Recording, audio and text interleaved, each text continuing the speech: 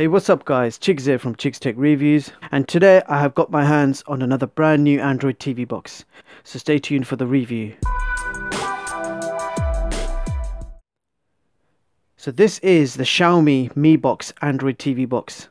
So as usual, we are going to be doing a quick unboxing followed by a few tests, video tests, full HD and 4K videos, a few Android games, testing Kodi performance and finishing off with a benchmark and Wi-Fi tests. So this is the Xiaomi Mi Box Android TV box. So what's special about this box is you have the full version of Android TV OS on here. So that's the same OS you get on the Nvidia Shield.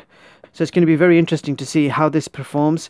So you also got Google Cast built into it you got voice search remote included. You got $76 worth of offers um, included such as $50 credit for sling tv $5 for Vudu you got one month free trial which is worth $6 and you got a three months trial uh, to pandora which is worth $15 so let's begin with the specs. I'll put the specs on the screen so you guys can have a quick read so the CPU is a S905X quad-core running at 2 GHz. The GPU is a Mali 450 running at 750 MHz. You've got 2 GB of DDR3, 8 GB of internal storage, dual band Wi-Fi supporting 2.4 GHz, 5 GHz, BGN and AC, Bluetooth version 4. This is running the official Android TV OS, built-in Google Cast, supports Ultra HD 4K videos at 60 frames per second, and it supports HDR10, Dolby Audio, and Dolby DTS. So let's get the box open and see what it looks like.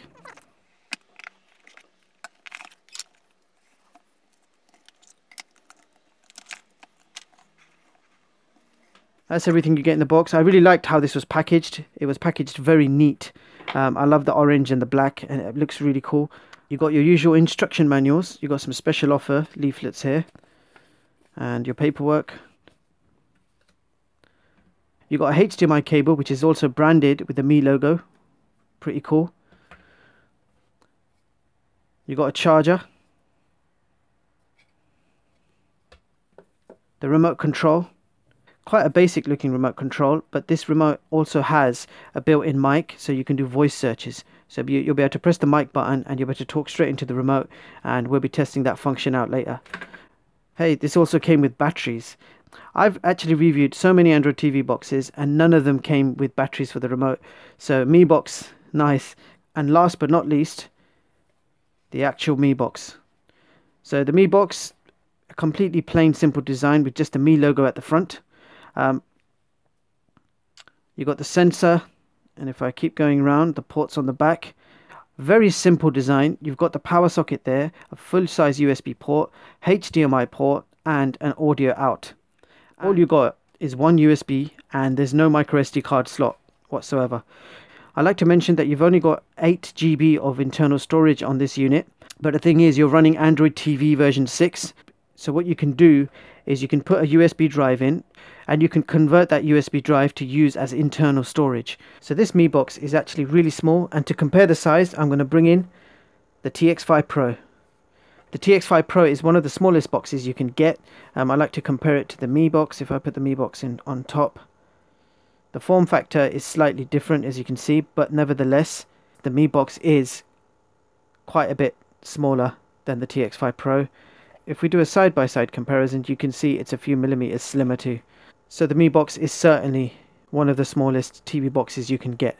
So I was quite excited to try this box out. Um, I've been wanting to get this for a while, but I finally got my hands on it. So this is the Xiaomi Mi box running full Android TV OS, exactly like NVIDIA Shield. Obviously the power of this is not on par with NVIDIA Shield, but still we're going to test this out. I'm going to hook this up now and we're going to run all the tests and let's see how good the Mi box is. So when you first turn the box on, you have to pair your remote control and you can do that by holding the left and the zero key um, and as soon as you do that you'll hear a beep and that means you're connected.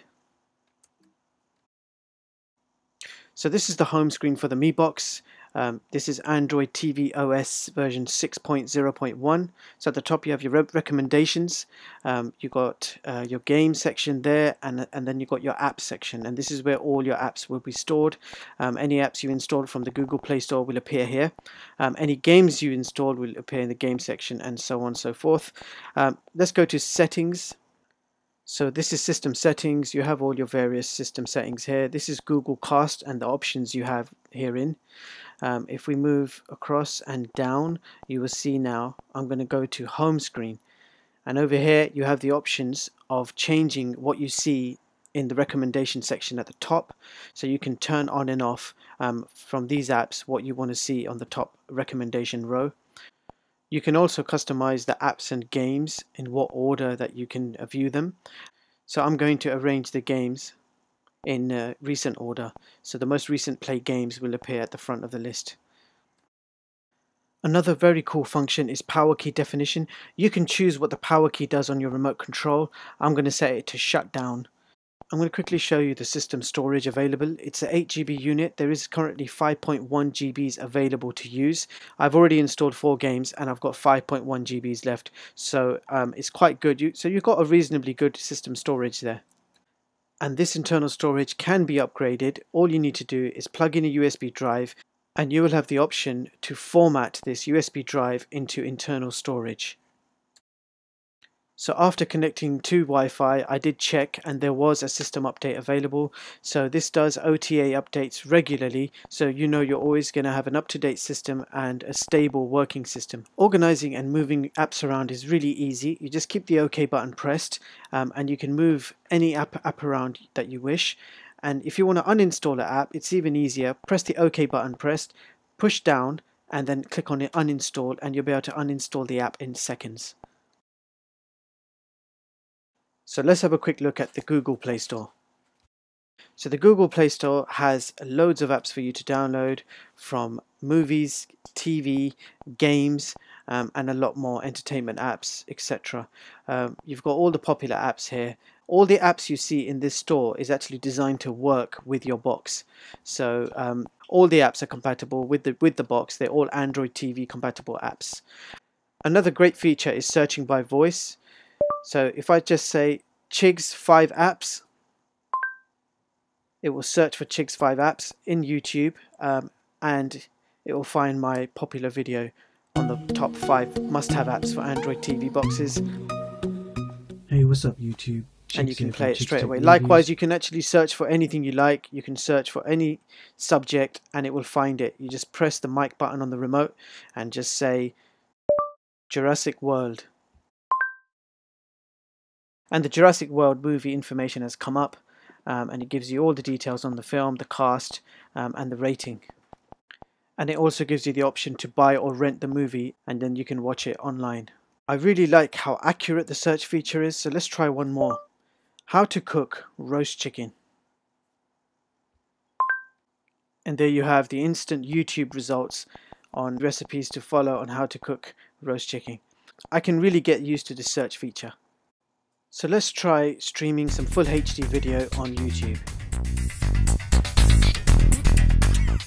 Hey, what's up guys? Chigz here from Chigz Tech.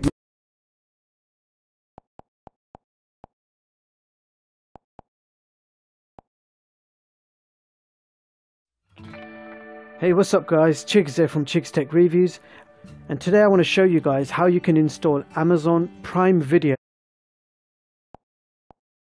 so now I'm going to test Kodi performance with some 4K video files.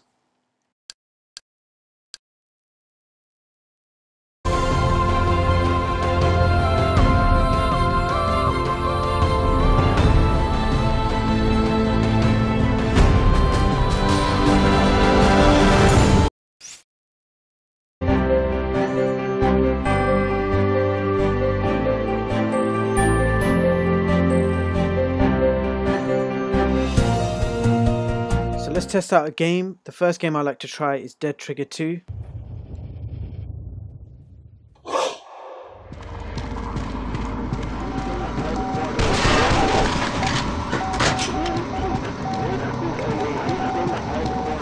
I know a shortcut. Okay.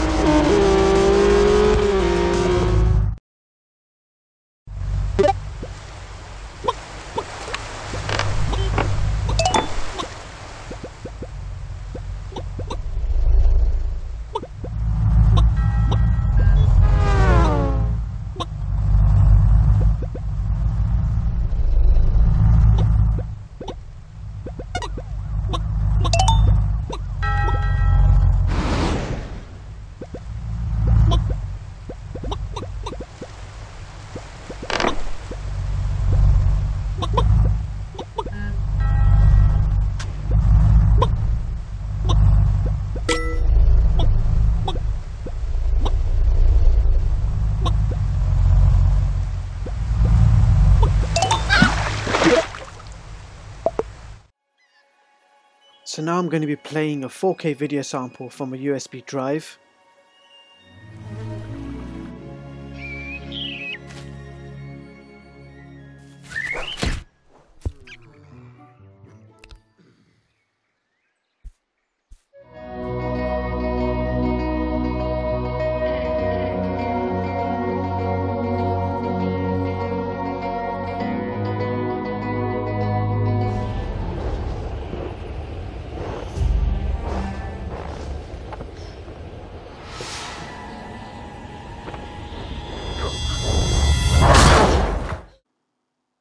So there you have it guys, the Mi Box has achieved 28 megabits download speed and 9 megabits upload speed. I am on a 40 meg broadband connection. So the results of the Antutu benchmark tests were quite good. You got a 37,617 overall benchmark score. So let's see how that compares with the others. So this is my top benchmark performance chart where you can compare all the Android TV boxes that I have reviewed to date. Higher the score, better the overall performance. So as you can see, the Xiaomi Mi Box has jumped straight to number one in the quad-core TV box chart um, with an amazing score of 37,317. So currently, the Xiaomi Mi Box is the best performing quad-core TV box that I have reviewed so far. So it'll be very interesting to see which Android TV box I review next and what overall score it will get. So stay tuned for that. So there you have it guys, that was the Xiaomi Mi Box. Considering this has only 2GB of RAM and a quad-core CPU, the performance of this box was actually very good. The Mi Box achieved the highest score when compared to other quad-core TV boxes. Of course, the 8-core boxes out there have scored higher, and some are actually priced lower than this box. So why would you buy this Xiaomi Mi Box for a higher price and less specs? Because this box has Google Cast built in, supports voice search, you also get $76 worth of extras, which some of you may find very useful. You also have a very solid performance with no crashes, and you have the most amazing Android TV OS. That's the same OS you get with the NVIDIA Shield, so this is a licensed Android TV OS product. So you get all the regular updates and fixes, so you know you've got a stable product. The Mi Box also supports DTS and Dolby Digital Audio. The only issue I see with this TV box is storage is 8GB. Uh, yes, you can expand it with an external HDD, but this would have been much better with at least 16 GB. Otherwise, this is a very high quality product by a very well known company, Xiaomi, who are currently producing the most amazing smartphones, which I hope to review for you guys very soon. So what I'll do is I'll put the links in the description in case you guys want to check this product out. I hope you guys found this video useful. Thank you so much for watching, and I hope you all have a brilliant day.